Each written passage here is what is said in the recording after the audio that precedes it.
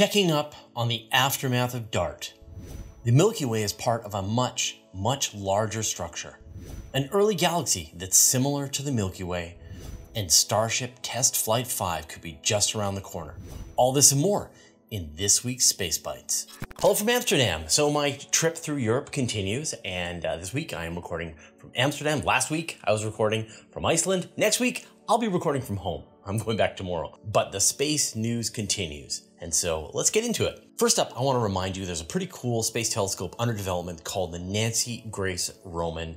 This is one of the two leftover Hubble class mirrors that were supplied to NASA by the National Reconnaissance Office. They gave NASA these mirrors and NASA figured out one interesting mission would be to do this large scale survey of the universe, looking far back in time, but also sort of examining a very large swath of the cosmos, really trying to help pin down the exact quantities of dark matter and dark energy at different points in the universe's history.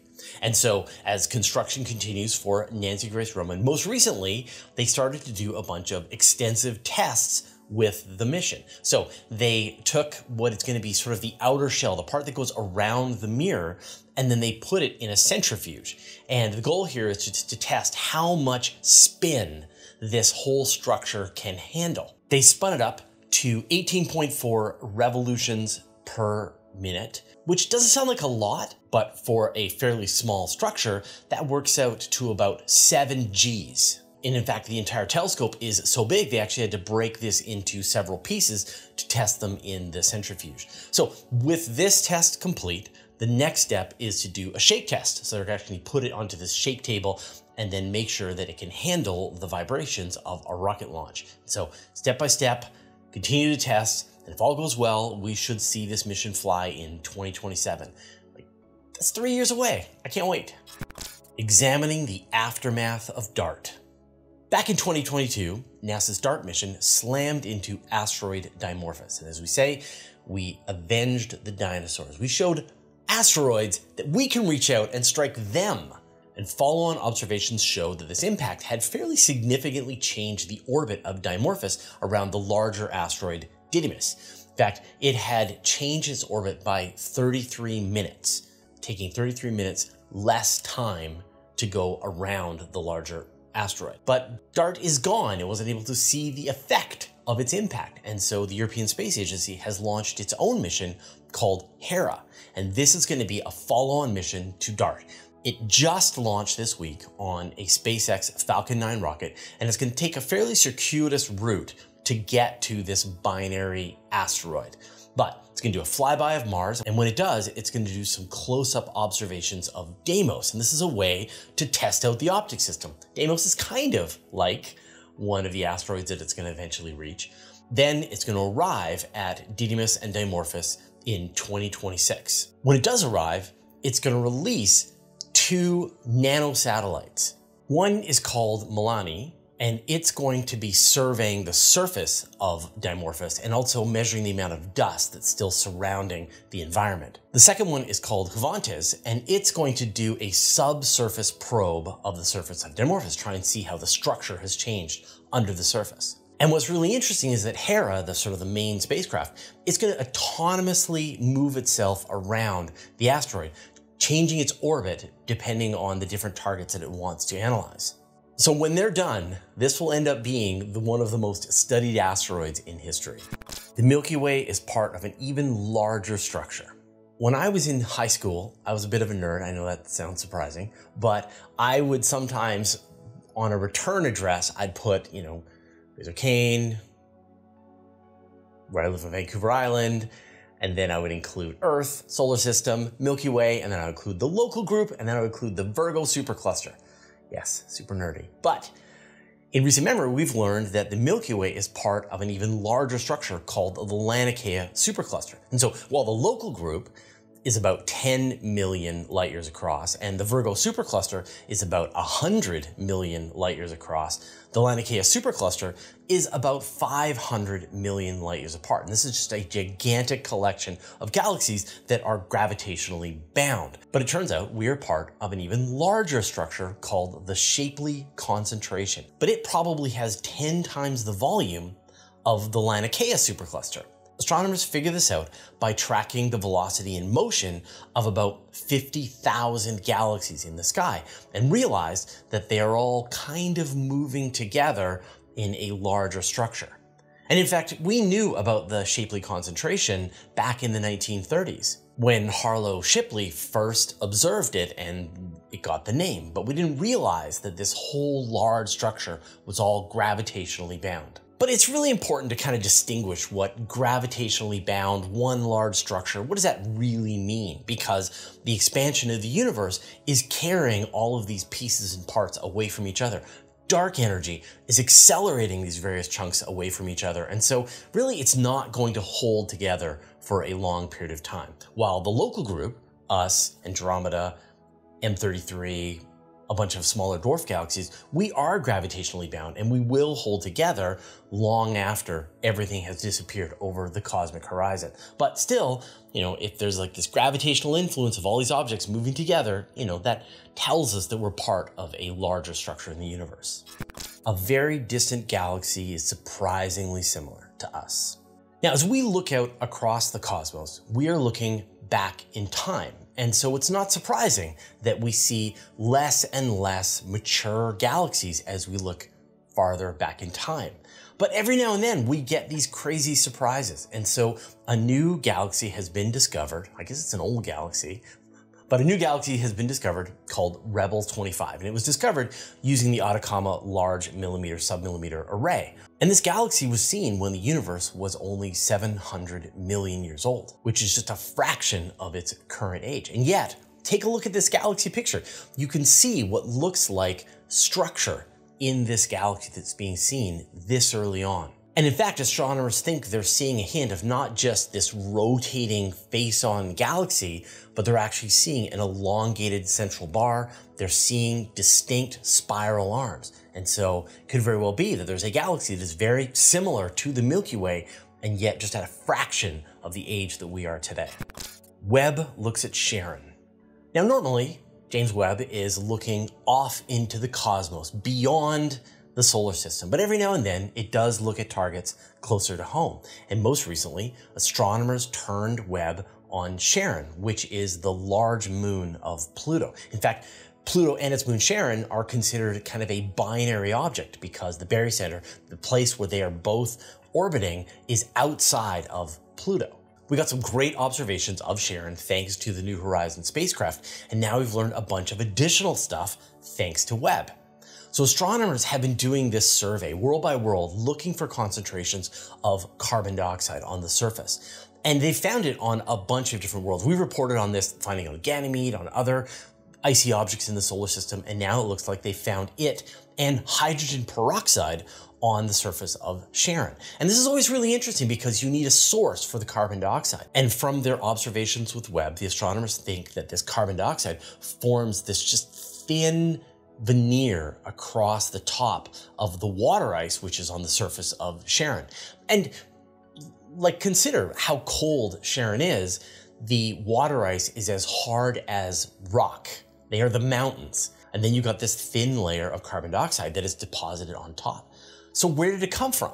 Astronomers think that various objects have crashed onto the surface of Charon over billions of years. And as they do, they excavate out material. Some of that material contains carbon dioxide. That material is released. It then freezes out, snows down, and becomes part of this layer on the surface. But then the other thing that astronomers found is this hydrogen peroxide. And again, you don't just get hydrogen peroxide, there has to be some process. And so astronomers think that the surface of Charon is being bombarded by ultraviolet radiation from the sun, as well as cosmic rays and other high energetic particles. They are turning some of that water ice into hydrogen peroxide. So it's always just surprising how active the entire solar system is and how much these ongoing processes are still happening. Now, a bunch of you are going to have concerns about the way I say Charon, and I just want to let you know that I got that pronunciation from Alan Stern, who is the principal investigator of the New Horizons spacecraft. That's the way he says it. He studies it. I just say it the way he says it. So if you have a problem with the pronunciation, take it up with Alan Stern. Every week, we do a vote on our channel where you tell us what you thought was the most interesting story of the week. And the winner this week, by a landslide, was the discovery of exoplanets at Barnard Star. So thank everybody who voted. Now, within 24 hours of when Space Bites goes live, we'll put the new vote onto our channel. It goes into the community tab and you can see it there, but you can also see it if you're just randomly scrolling on YouTube, you should see it pop up. And then once you've interacted with it once, and it should show it to you every week, thanks to the algorithm. But just to make absolutely sure, subscribe to the channel, click on the notifications bell, watch a bunch of our videos, submit to the algorithm. Water on the moon is much more widespread. Over the last decade, our exploration of the moon has really been about the story of water. It's funny, it's like the same story about the exploration of Mars. But in this case, thanks to India's Chandrayaan mission, we learned that there are deposits of ice at the permanently shadowed craters at the moon. And we learned from other missions that in fact there is water mixed in with the regolith across the moon. And now, thanks to the Lunar Reconnaissance Orbiter, we've learned that those deposits of ice near the south pole of the moon extend a lot further than we had ever thought. Originally, the water ice deposits were found in the permanently shadowed craters right around the polar region. But thanks to an instrument on board the Lunar Reconnaissance Orbiter called the Lunar Exploration Neutron Detector, astronomers have discovered that these water ice deposits extend much further away from the poles than they thought. In fact, out to about a latitude of 77 degrees.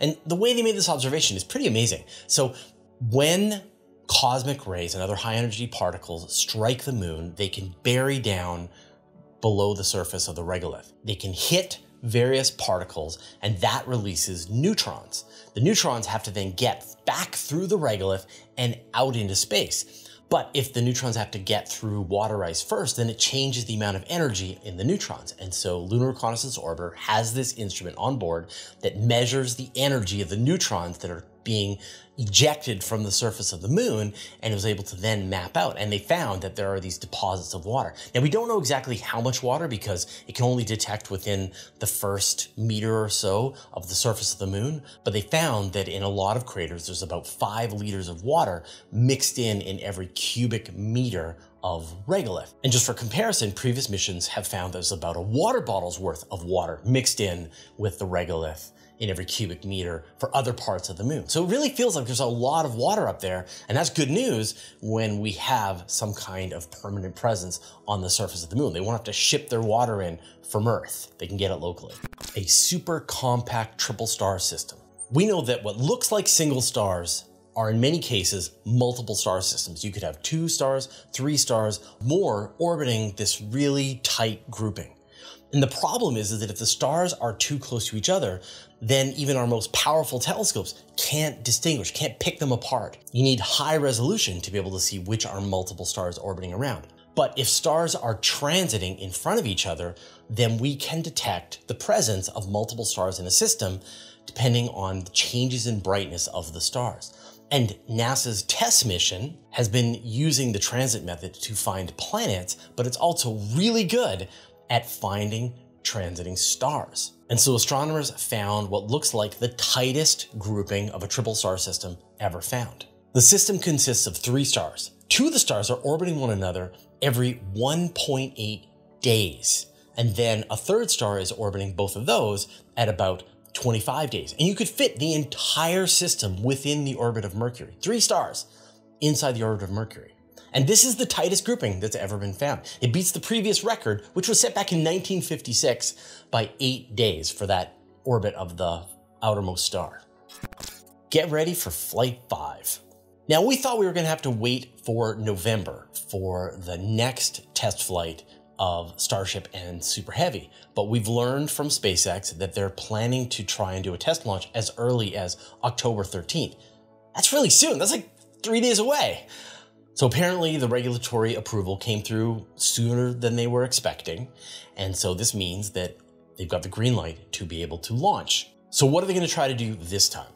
Well, last time, if you remember, they launched Super Heavy and then returned and landed gently in the Gulf of Mexico.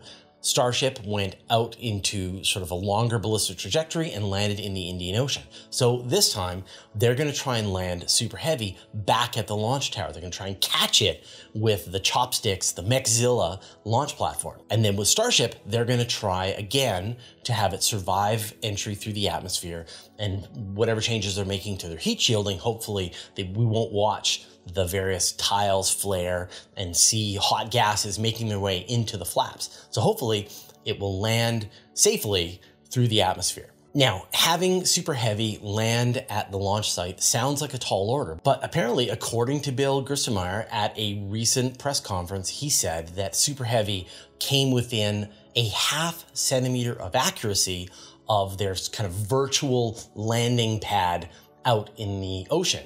And so if they were able to get that level of accuracy with Super Heavy, then I guess they're ready to have it return to Mechzilla and get caught. And if they're able to successfully pull this off, then there's a couple of big milestones that are still remaining. They've got to be able to have Starship successfully survive re-entry through the atmosphere. It's got to be able to land and be captured by Mechzilla.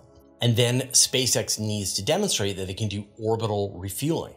And it's believed that for the human landing system, the version of Starship that's going to help take the astronauts down to the surface of the moon, they're going to need to pull off about 16 flights of Starship to be able to completely refuel so they can go off to the moon and be able to handle that landing on the surface of the moon. So all eyes are going to be on SpaceX in the next couple of days, and we'll see what happens. Every week, I write The Guide to Space, which contains dozens of other stories that we don't report here on Space Bites. And so if you want a more comprehensive understanding of the big space news of the week, definitely check out the Guide to Space newsletter. It's completely free. I write every word by myself and it goes out to about 72,000 people. You can unsubscribe anytime you want. There's no ads. Go to universetoday.com slash newsletter to sign up. Now I'm going to talk about our content policy at Universe Today, but first I'd like to thank our patrons. Thanks to Abe Kingston, Adam Schaefer, Barry Lake Roofing, David Gilton, and David Matz, Dennis Alberti, Dustin Cable, Jeremy Matter, Jim Burke, Jordan Young, Josh Schultz, Paul Rohrbach, ScienceWorldRecord.org, SpiderSwap.io, Stephen Krasaki, Stephen Fowler Munley, and Vlad Chiplin who support us at the Master of the Universe level, and all of our other supporters on Patreon. I get emails every week from people who are concerned about protecting Universe Today. They've found examples of Universe Today stories being copied on a variety of other websites. You might see it on phys.org, you might see it on you know, other videos here on YouTube, and people wonder, am I concerned about people stealing my content? I am not concerned. In fact, everything we create at Universe Today is provided with a Creative Commons 4.0 license, which means that you are free to do whatever you want even commercial stuff with our content. You can take all of the articles we write at Universe Today and you can put your own website together and reprint all of our articles. You can incorporate bits and pieces of Space Bites or my podcasts, whatever you want, fill your boots. I don't care. All we ask is that you let people know where you got the content from. Give us credit, and especially give credit to the writer, the person who actually created the material. We put the writer's name very prominently on every story that we do on Universe Today. Please maintain the name of that writer so that they can help build their portfolio. And then, of course, you don't have to ask me for permission. Go ahead, use our content. Feel free. All right, we'll see you next week.